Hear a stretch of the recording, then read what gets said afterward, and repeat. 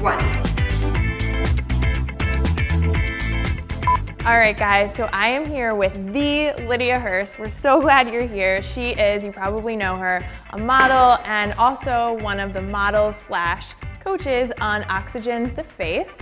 You probably get asked this a lot of being a model, but do you have like a go-to face or a blue steel if you're familiar with the Zoolander film? Of course, everybody knows and loves Zoolander, but um, you know, it's interesting because fashion, it's changed over the years. When I first started, it was about very static posing and sort of that doll-like look where it's not that your eyes were dead, but your mouth was parted just a little bit and your eyes were very wide and open.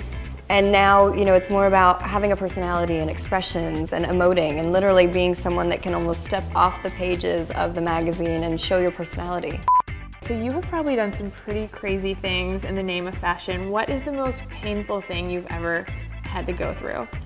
Um, you know, I would actually have to say, and this might sound a little weird, um, because I have such a small foot. I'm about a size 5 US, it's teeny tiny. And most girls in fashion are about a size 10, maybe 11. Yeah. So probably for every runway show I have ever done in my decade of modeling, I have super glued my feet into the shoes. What? Yeah. Oh my goodness. that is, wait, that, okay, that definitely is painful. It How is. do you get your feet out of the shoes afterwards? Um, well, one thing I did not know before I started doing this, I guess super glue uh, came to be because doctors used to use it to close wounds. So unfortunately, I found out the hard way when you first put it on your foot, it heats up. So it gets really hot and then you gotta shove it in your shoe really quick so it sticks. And then you're good to go on the catwalk. So at least your shoes will stay on and you probably won't trip, which thank goodness no one wants that to happen. okay, whoa, that is amazing. You're so, right. Okay. Yeah, that's so, probably yeah. the most painful thing I have had to do for fashion, but I'm glad you haven't done anything more painful no. than that. What is one lesson that you have really come away with in your 20s? I, I gotta say, people really need to take care of themselves.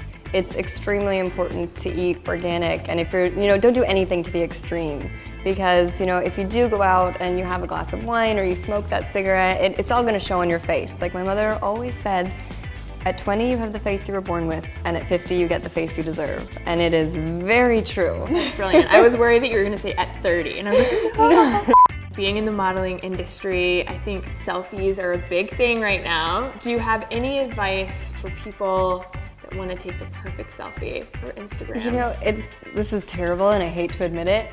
I am awful at taking selfies. It drives me crazy. I try get so hard and I am awful. like sometimes I can get it if I angle it right into the mirror, sort of looking back, but apart from that, I am the worst. That's why if you go on my Instagram or Twitter, there's almost no selfies what is your biggest indulgence? And please don't say like pretzels or like ketchup. Um, okay, I have to say that I definitely have two. And the first one being Carl's Jr. I yes. am addicted to it. When I go there, I go all out with the burger, everything on it, and the fries.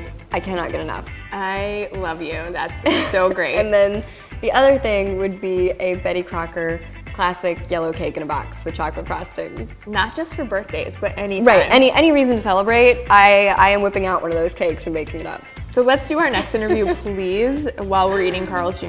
Yes, yes, and then a cake to celebrate celebrate the to day. celebrate the interview.